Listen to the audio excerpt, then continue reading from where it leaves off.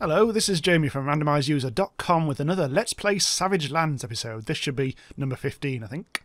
So, we're back at the Monolith. Hello! Um, and in the new build that they've just released um, onto the beta stream, um, they've started to introduce a few things that people have been waiting for for a long time. So I thought I'd have a look at them. Oh god, it's almost evening already. Shit. Okay, what we're going to have a look look at today is the new armor repair system and how to find your corpse when you die. And first of all, I mean, I've got this golden reaver. Um, I killed Lycor in the last episode. Spoilers! Um, but since then, they've made uh, Lycor spawn slightly differently again, and also forest giants apparently as well.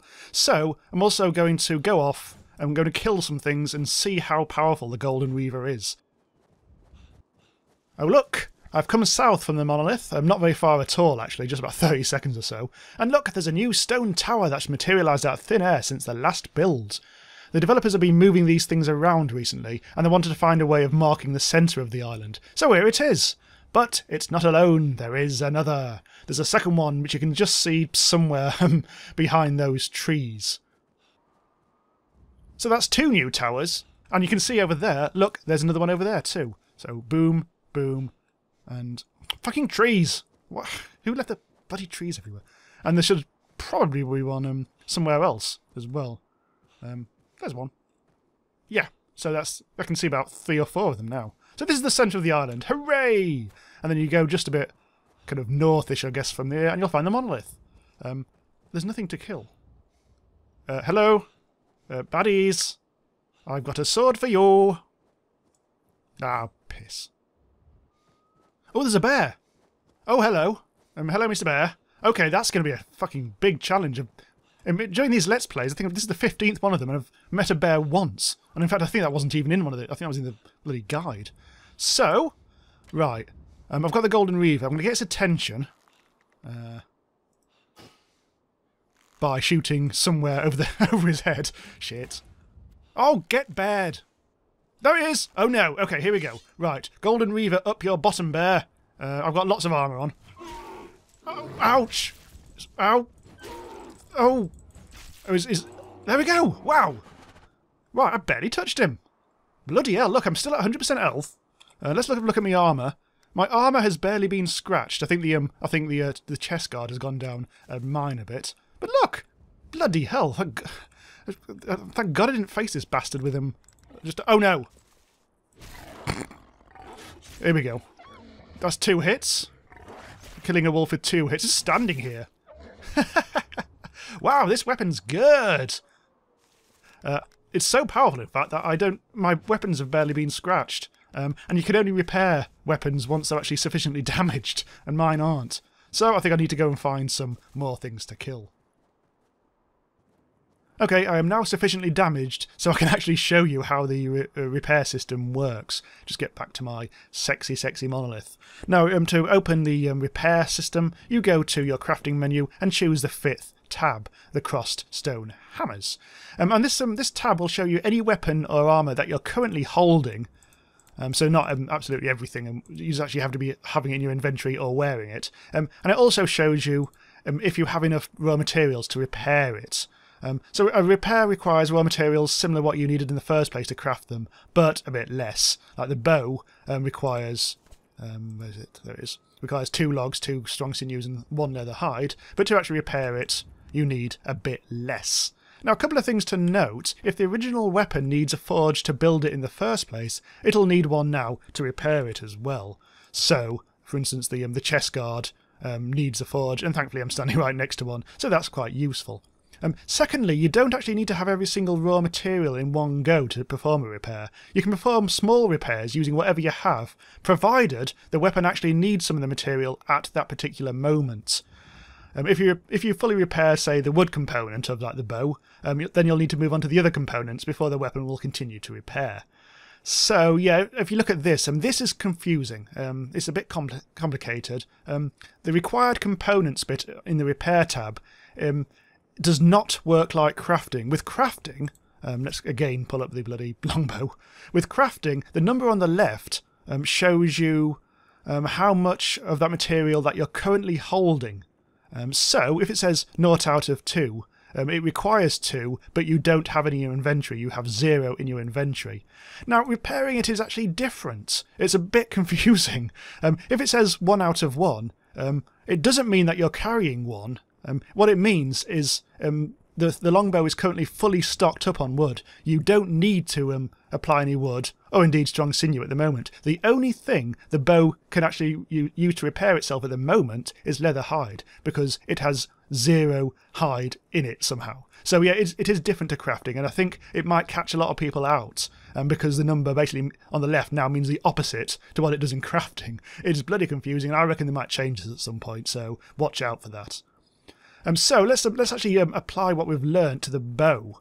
Um, it it won't let you repair a weapon until it's sufficiently damaged enough to have lost some of the components in the first place. As you as you use the bow up, um, it'll lose bits of itself. So it'll eventually, if, if I keep on using it, eventually it will need wood to repair. But at the moment, it doesn't. Oh yeah, there's another thing. Is um, it'll only repair weapons that you can actually craft. Um, so you can't repair a stone sword, which you can't actually craft, you have to get off a Undead Fury. And you can't actually repair a Golden Reaver at the moment, which is a shame, because again, that's only a drop from a mob. Uh, which is bloody irritating. So, um, this require the only thing I can use to repair this at the moment is leather hide, and I have one, so I can repair. Bang! And it'll take it back up to 100% because now, as you can see, it, it's got everything it's required to be pretty much fully uh, operational. It's got its wood, it's got its sinew, and it's got its leather hide. Now, um, let's go to the let's go to uh, there the gauntlets. Now it's seventy three percent repaired. Now, um, I could repair it with a bit of ore. Um, it's fully stocked up on cloth. Um, it needs a, an entire leather hide, and it needs a bit of strong sinew. None of which I'm actually carrying. Um, let's actually pick something up. Um, up some strong sinew. There we go. Now, so I have three, um, and it requires two. So let's repair it once. Oh, it takes takes it up to eighty six percent. Um, but that's um that's used up all my strong sinew now. So it's um the the item is at four out of four.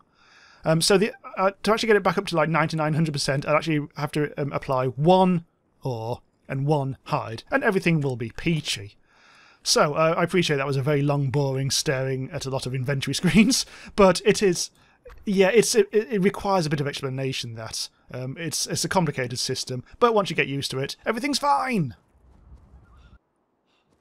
Okay, the last thing to show you very quickly is what happens when you die now. Uh, because when you resurrect and you're sufficiently close to your corpse, um, you will actually be able to find your way back to the corpse quite easily. So I'm going to put that into um, into demonstration. I'm just coming. I've just come south. I think it is south south of the monolith, um, where the uh, where the forest giants often spawn. Um, that yeah, that's the, that's a, definitely a new thing that's put in. Uh, yeah. Anyway, um, so let's let's go and bother the forest giant. Apparently, forest giants have also change their spawn type as well, um, as I mentioned at the start of the video. Um, but yeah, I don't know how that's actually um, been implemented. So, hello mate. Hello mate. Hello. Do your thing. No, you're supposed to kill me outright. there we go. Right, I'm back, back, back. And look, a thing has appeared. A delicious thing. So let's go back towards it. That skull and crossbones tells you where our corpse is. So let's run back towards it. Um, this is very straightforward. It has a radius um, beyond.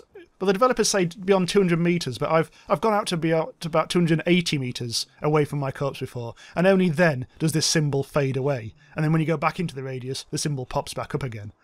So let's go back. Yeah, yeah, yeah, yeah. Now let's see. The, can you have? Let's let's do a little experiment. Can you have more than one of these symbols at any one time? Let's find out by doing something stupid. I'm going to bother the forest giant again! Hi, mate. Fine weather we're having. Well, funny enough, it's snowing again. Ooh, ow, ouchie, ouchie, ouchie. Now, come here. Come here, mate. Come here with your spindly little stupid little fucking hands. Come on. Give me what for. There we go. And we're back again. And look, both um, corpses now have a symbol.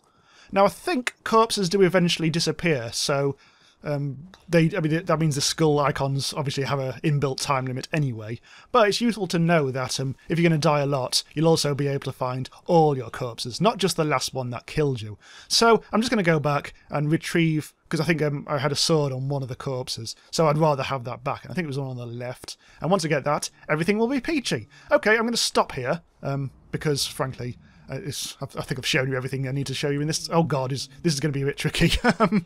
um, um, so this has been Jamie from Randomise User with another Let's Play Savage Lands. Oh, piss, piss, piss, piss, piss. Um, so subscribe to the channel if you want more um, episodes of this and lots more besides. So thanks for watching.